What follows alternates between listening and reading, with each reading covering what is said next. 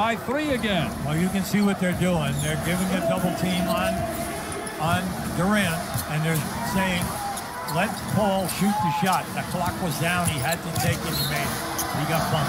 Count the basket. Doncic fouled by Booker.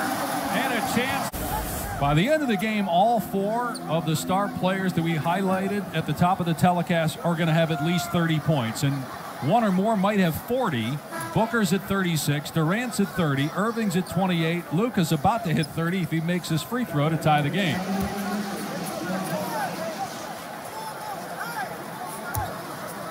The most